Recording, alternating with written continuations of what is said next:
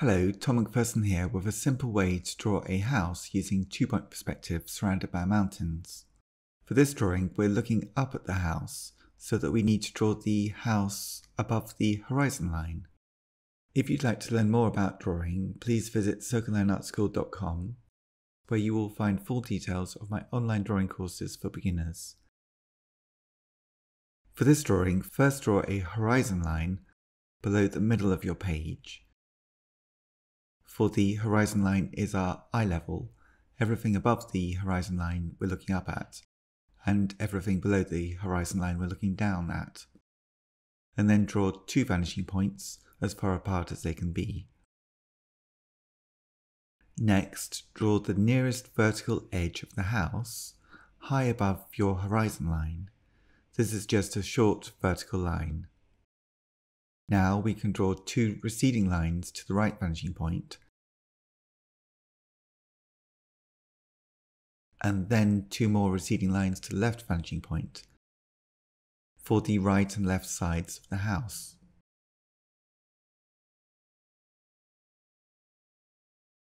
Next, draw a vertical line on the left and the right of the first vertical line to show where the edges of the house stop on the left and the right.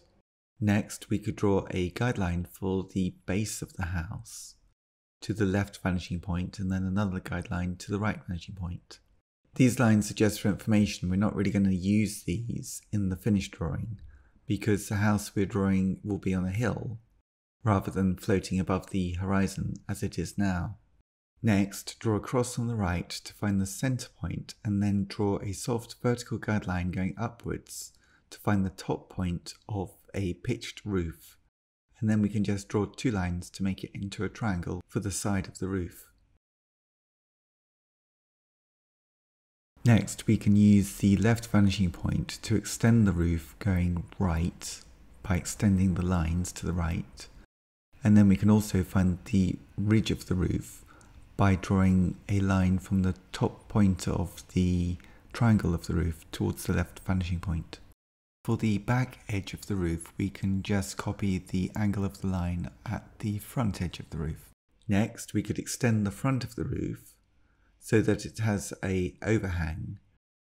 To do this, just extend the lines that we have already drawn and copy the angle of the lines that we've already drawn too.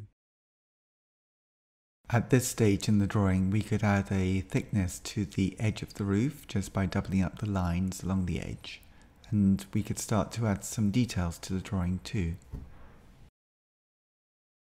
We can draw some receding lines to the right and the left vanishing points to make this house into a simple log cabin.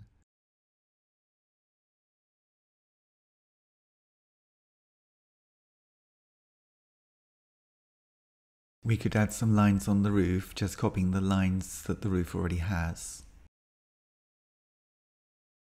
We could add a door and some windows. The receding angles, the top and bottom lines of the doors and windows, will go towards one of the two vanishing points in this simple drawing which uses two-point perspective.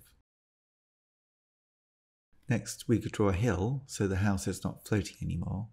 And then we could draw a path coming towards us, getting wider as it comes towards us, the viewer of the image.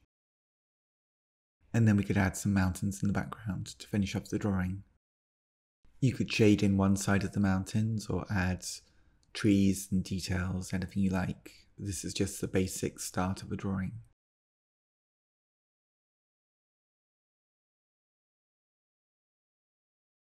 If you'd like to learn more about drawing, please visit circlelineartschool.com where you will find full details of my online drawing courses for beginners. Thank you for watching this video. I hope you found it useful for your own drawings. I post a new video every week.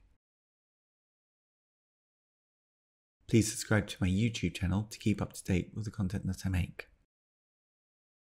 Thanks for watching and see you next time.